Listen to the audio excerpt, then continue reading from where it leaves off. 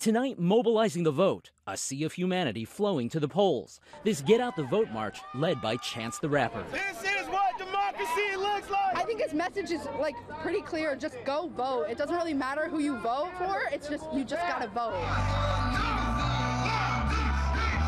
Before marching, there was music. Chance the Rapper headlining a free concert. Hundreds of fans descending on Grant Park.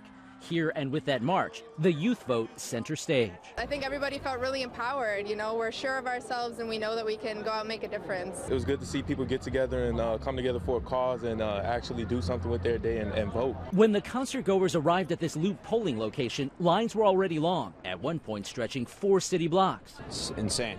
Uh, it's not surprising, though. You know, uh, it's going to be a controversial election, so it uh, makes sense that there's this type of turnout. I know tomorrow's going to be a big day, and I don't want to risk not making it to work and don't want to risk not voting. The crush of early voters not just in the city. In suburban Cook County, more than 438,000 pre election day ballots were cast, a 60% increase over the total in 2012. These voters not surprised. Even though I saw the long line, I'm like, I'm glad the line is long because it means people care and they're out here trying to vote.